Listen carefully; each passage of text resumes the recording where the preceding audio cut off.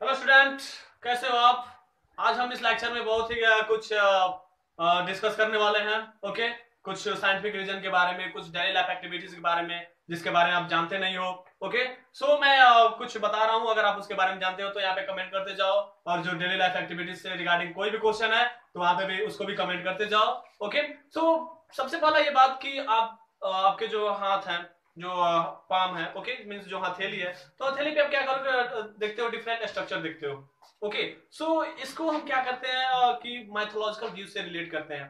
Mythological view means आप हम अ, क्या जानते हैं अपने भाग या लक पे डिपेंड करते हैं कि अगर आपका स्ट्रक्चर कुछ ऐसा है तो लक ऐसा होगा। लेकिन ऐसा कुछ होता नहीं है। ओके जो हमारे एंसेस्टर थे जो पूर्वज थे वो कुछ ऐसा बता के चले गए कि लक होता है एंड वगैरह वगैरह। ओके सो जो साइंटिफिक रीजन है इसका वो साइंटिफिक रीजन ये है कि ये जो स्ट्रक्चर है, वो स्ट्रक्चर किसी भी ऑब्जेक्ट को, किसी भी चीज़ को होल्ड करने में हेल्प करते हैं। ओके अगर आपको इसका सत्यापन चाहिए मीन्स अगर इसका प्रूफ चाहिए तो उस प्रूफ के लिए आप क्या करो कि अपने पाम में आयल लगा लो। ओके मीन्स जो आपका हथेली है, उस पर आयल लगा लो।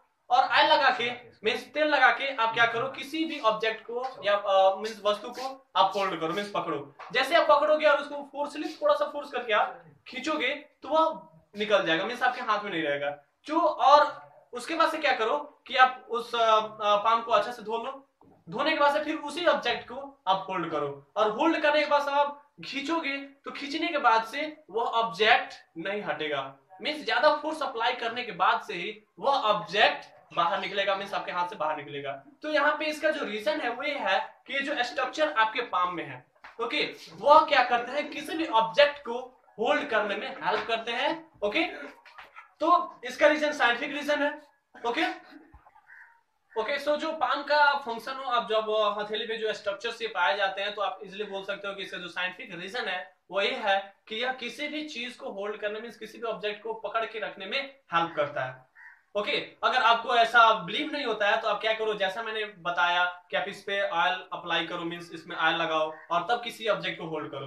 फिर क्या करो? आयल को रिप्लेस करो मीन्स उसको हाथ को धो लो और उसके बाद से उसी ऑब्जेक्ट को होल्ड करो तो वह ऑब्जेक्ट इजिली आपके हैंड से बाहर नहीं जाएगा।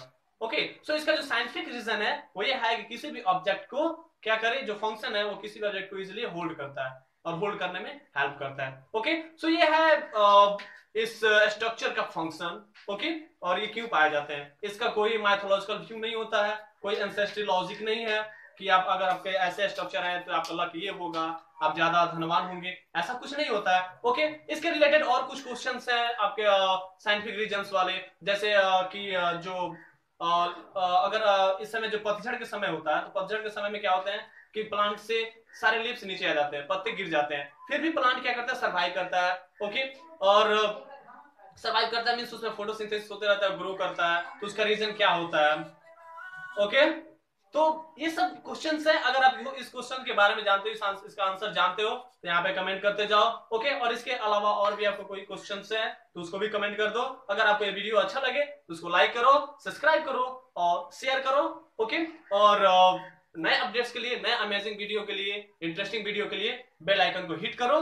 That's all